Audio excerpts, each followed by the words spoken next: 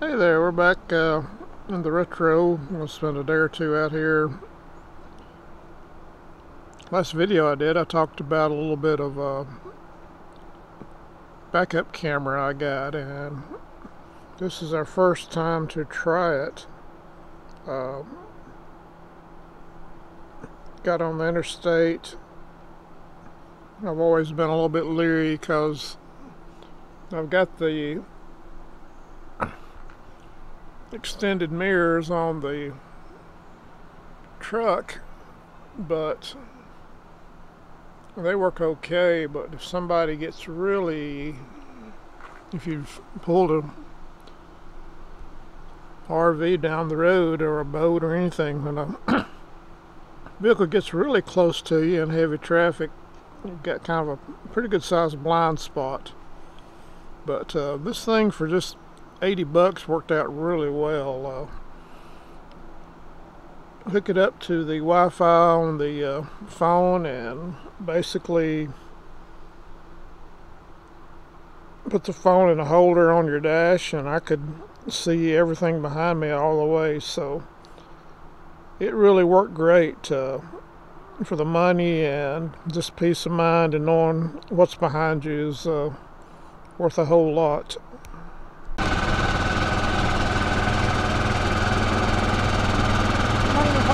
Down here playing. I don't know.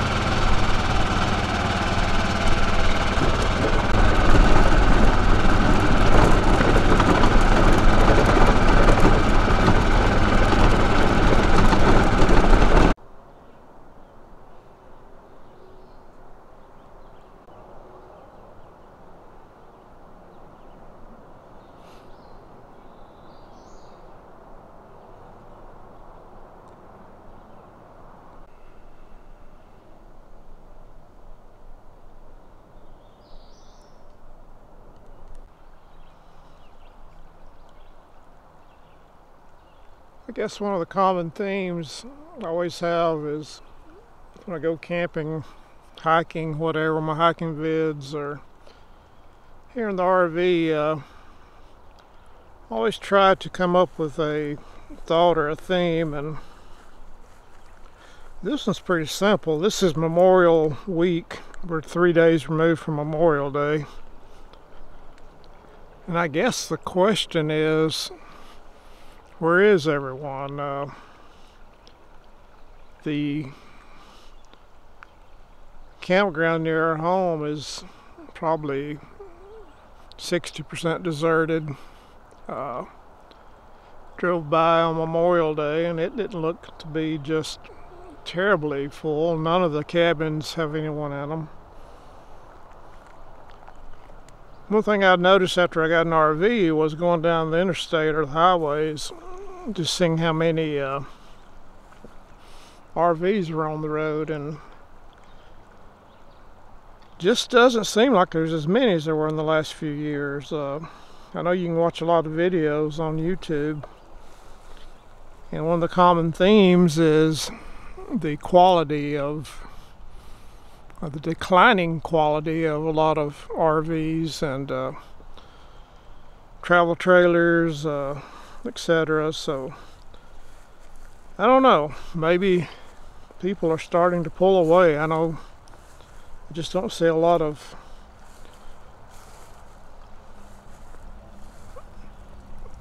people and also don't see a lot of uh, new units. There's you get on a lot of these websites and there's tons of them for sale. Is it a temporary thing or people pulling away from RVing? I don't know.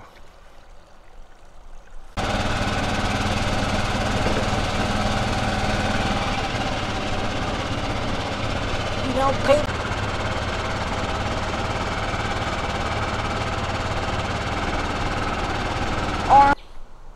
Talked earlier about uh, where's all the RVers gone that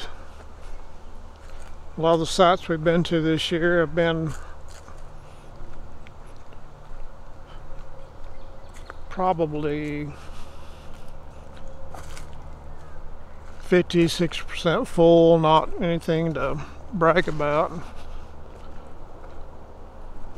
One of the things you do when you uh, get set up, we look out the windows while we're snacking. I watched a guy pull in on a fifth wheel. He's been working on it now for two solid hours. Just dropped my cap. Now, I don't know what his deal is, trying to get it dead nuts level or what, but uh, told my wife if that were me, that probably rain my whole trip. I ought to be so frustrated that uh, I'd be unable to enjoy the rest of it. But uh, one thing you do learn is that when you pull into a RV site. It's just a lot of work. You gotta unhook it, get it level, relatively level. You've got to get your water hooked up, electric, get sewer hooked up and draining properly and takes a while. Then you reverse that process when you go home. Sometimes I, I really think maybe the early days when we tent camped a lot might be, it seemed like it was as hard. Not nearly as comfortable now, don't get me wrong. Once you're set up and got the air conditioner going and got a bathroom to use it ain't bad but again I think there's sort of a trend that started the last year or two of uh, the whole industry and process kind of slowing down. Probably a whole lot of different reasons. Uh, I mentioned earlier truth of the matter is these units aren't fantastically made unless you got uh, a really expensive unit but uh, that's part of the problem and I mentioned earlier in other other videos it takes a lot of effort to uh, keep them maintained and keep them going but uh, you just have to make the decision on your own. Is that what you want to do? And is that the way you want to travel and go from there? This is one of the beautiful spots here at the lake. Uh, we're here at the camp. Little pond down here. Always like walking down here when we stay here.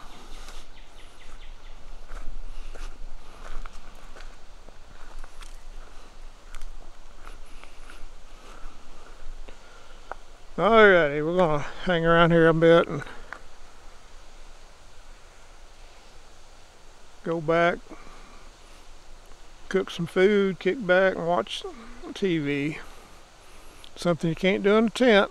Talk to you later. Well, we loaded up and left this morning and the RV park was probably 40%, 30, 40%. It goes back to what I talked about the day before is what's going on, what's happening to people. Uh, but as I was loading up to go, there's a little bit of a water leak coming right across the corner there, across the floor. And found out that you remove the cushion and the backrest and lift up the piece of plywood and the tank and uh, pump are located underneath the seat and I'll show you the fitting in just a minute that uh, was loose. take both the cushions off the uh, where you sit and then you'll see a piece of particle board with a hole there you can grab a hold of and remove. And the valve was leaking was that one right there coming out of the uh, got your hot and cold tank and there's the water pump. So goes back to what I said earlier learn something every day. I hadn't really thought much about it but I guess the word I'll leave you with is if you got a trailer find out where your pump and connectors are and going down the highway everything vibrates and shakes loose so uh, probably once twice a year get in there and tighten everything up. One last note on this little uh, backup camera. It said about 12 hours and that was about it when we got home. It was down to one uh, one blue light so I got it charging again. So if you're on a multi-day trip then probably need to bring it in every night and uh, charge it up. Alrighty talk to you later